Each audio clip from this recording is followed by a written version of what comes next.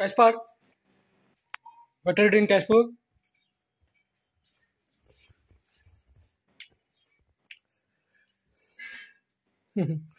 Casper is uh, like playing with curtain.